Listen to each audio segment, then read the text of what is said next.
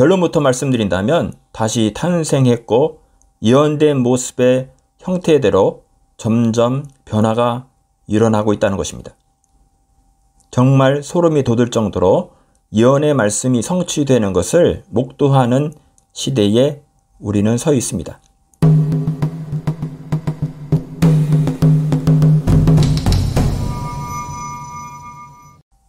우리는 하루라고 하는 너무도 짧으며 주변을 살필 여유가 없을 정도로 바쁜 삶을 살고 있습니다.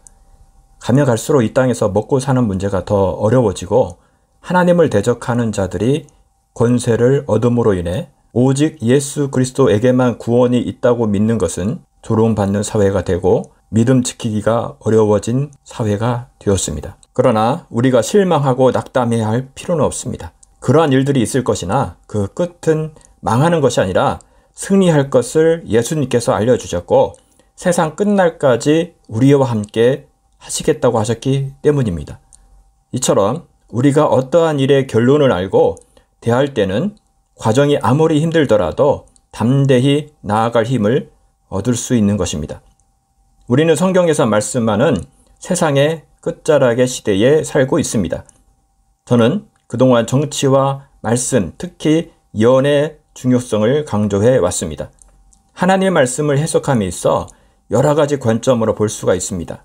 특별히 오늘의 주제인 적그리스도와 같은 주제는 정치와 종교가 하나 된 국가, 나라, 왕국의 관점에서 바라보면 큰 뼈대를 이해하시는데 도움이 되실 것입니다. 사탄은 창세부터 계시로 마지막 때까지 하나님을 대적하고 사람을 미혹하여 자신을 숭배하게 하였습니다. 노아 호순들은 동방으로 이동하다 신할 평지를 만나 정착하여 바벨탑을 쌓았으며 바빌로니아인들은 왕을 마르두크라는 신의 대행자로 믿었습니다. 또한 모든 왕들은 신성한 도시로 여겨진 바빌론에서 왕권을 인정받아야 한다고 믿었으며 왕권을 강화하기 위해 관료 제도와 세금 제도, 중앙 정부 체계를 갖추었습니다. 이처럼 홍수 이후 시대인 바빌론은 종교와 정치가 하나인 국가 체계를 이루고 있었습니다. 현대로 와서는 2차 세계대전의 주범인 독일의 나치즘에 대해 반대하는 소수의 종교인들이 있었지만 대부분의 카톨릭이나 개신교는 지지하거나 침묵하였습니다. 개신교에서도 하나님이 영적인 구원을 위해서 예수를 보내셨듯이 독일을 구원하기 위해서 히틀러를 보내셨다라고 주장할 정도로 나치에 대해서도 우호적이기도 하였습니다. 로마 콘스탄티누스 1세는 기독교 박해를 그치고 기독교를 공인하는 밀라노 칙령을 내린 황제로 알려져 있습니다. 그러나 사실 그는 기독교와 아무 상관없던 자기 인맥을 교회의 고위 관리로 발령되고 교회 내부에 교황 같은 독자적인 성직 계급을 만들었습니다. AD 331년엔 다른 칙령을 내려 로마의 권위에 복종하지 않는 자들은 체포하고 등록을 말소하며 교회이든 상관없이 불태워 버렸습니다. 이처럼 사탄은 창세 때부터 마지막 때까지 종교와 정치가 하나인 국가를 세우려 하는 것은 무슨 이유일까요?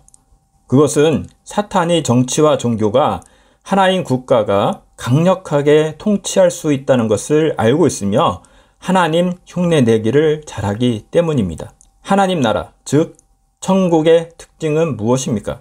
우리는 그동안 천국에 가면 특별한 일 없이 한가롭게 정원을 산책하며 이곳저곳을 여행하며 예배하는 정도로 생각하실 텐데요. 물론 여유롭게 즐기는 그러한 모습이 잘못됐다고 말씀드리는 것이 아닙니다. 그보다 전체적인 모습을 설명할 때는 킹덤, 즉 왕국이라는 단어가 하나님의 나라를 잘 설명할 수 있다고 생각합니다. 그 나라에서는 할 일 없이 떠도는 나그네가 아니라 각자의 포지션, 위치와 임무가 있을 것입니다. 예레미야 31장 33절 말씀입니다. 그러나 그날 후에 내가 이스라엘 집과 맺을 언약은 이러하니 곧 내가 나의 법을 그들의 속에 두며 그들의 마음에 기록하여 나는 그들의 하나님이 되고 그들은 내 백성이 될 것이라 여호와의 말씀이니라. 왕국에는 왕과 백성과 법이 필요합니다. 하나님 나라에서는 여호와 하나님이 우리의 왕이 되실 것입니다. 정치와 종교가 하나 된 국가 시스템이 가장 강력한 것을 알기에 사탄은 마지막 때 이러한 정치와 종교가 하나인 전체주의 국가를 전 세계로 확장하는 세계 단일 정부를 만들려는 것입니다. 이 세계 단일 정부에서 필요한 종교는 배도를 통해 종교 통합을 완성하였으며 이를 관장하는 교황은 거짓 선지자이며 머리가 일곱이며 뿔이 여린 짐승을 탄 음녀인 것입니다. 이 거짓 선지자와 한 몸처럼 움직일 적그리스도 대해 자세히 알아보겠습니다. 교황은 종교를 담당한다면 적그리스도는 정치를 담당하게 될 인물입니다. 하나님께서는 사도 바울을 통해 예수 그리스도의 재림이 있기 전에 이러한 종교와 정치에 큰 사인이 있을 것을 강조하였습니다. 대사로니까 후서 2장 3절 말씀입니다. 누가 어떻게 하여도 너희가 미혹되지 말라. 먼저 배교하는 일이 있고 저 불법의 사람 곧 멸망의 아들이 나타나기 전에는 그날이 이르지 아니하리니. 그러면 이 불법의 사람, 멸망의 아들인 적그리스도가 어디에서 나타날지에 대해서 하나님의 말씀을 살펴보도록 하겠습니다. 이는 예언의 말씀, 특히 다니엘서와 계시록에서 명확히 말씀하고 계십니다.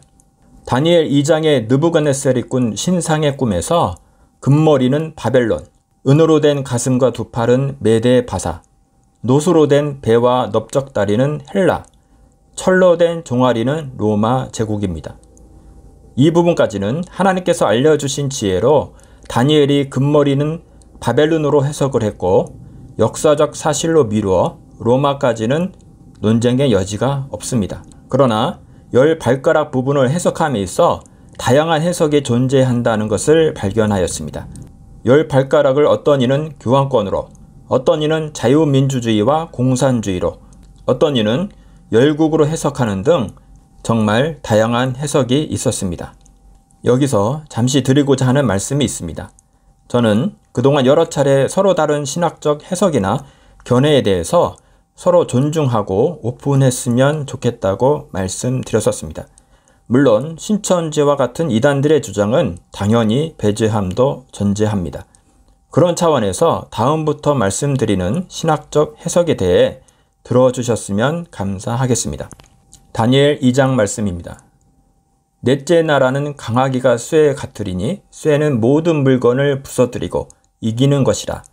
쇠가 모든 것을 부수는 것과 같이 그 나라가 문나라를 부서뜨리고 찢을 것이며 왕께서 그 발과 발가락이 얼마는 토기장의 진흙이요 얼마는 쇠인 것을 보셨은즉 그 나라가 나누일 것이며 왕께서 쇠와 진흙이 섞인 것을 보셨은즉 그 나라가 쇠 같은 든든함이 있을 것이나 그 발가락이 얼마는 쇠요 얼마는 진흙인즉 그 나라가 얼마는 든든하고 얼마는 부서질 만할 것이며 왕께서 쇠와 진흙이 섞인 것을 보셨은즉 그들이 다른 민족과 서로 섞일 것이나 그들이 피차에 합하지 아니함이 쇠와 진흙이 합하지 않음과 같으리이다.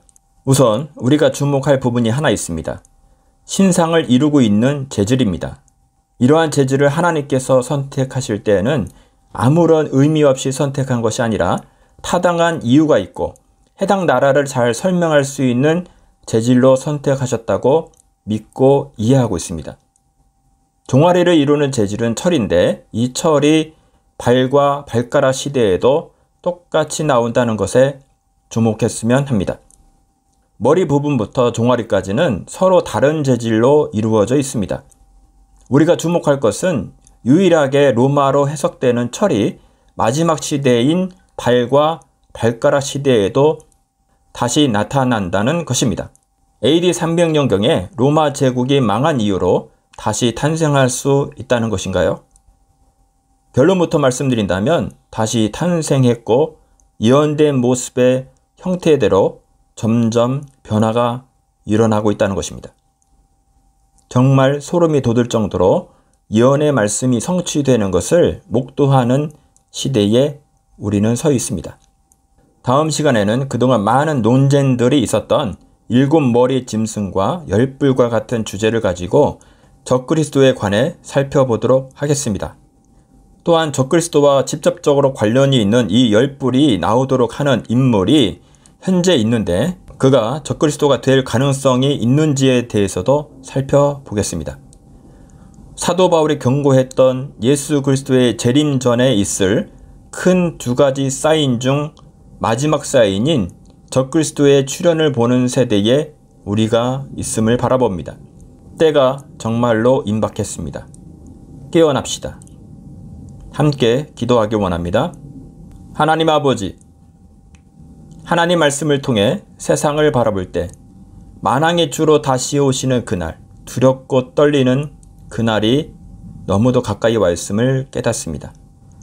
그 시선으로 저와 세상의 영혼들을 볼 때에 너무도 준비되지 않은 모습을 바라봅니다. 우리가 아무리 많은 사역을 하고 아무리 많은 말씀의 지식을 가졌을지라도 죄인 중에 죄인임을 고백합니다. 우리가 회개함으로 나아갈 때에 우리를 불쌍히 여기시고 극률이 여기셔서 예수 그리스도 보혈의 피로 깨끗게 하여 주시옵소서. 지옥에 빠질 수밖에 없는 영혼들에게 쾌락과 이 땅의 성공만을 추구하는 이들에게 죽음에서 생명으로 옮기는 이 놀라운 복음을 전할 수 있도록 우리에게 담대함과 예수의 마음을 주시며 행하시옵소서. 예수님의 이름으로 기도하였습니다. 아멘.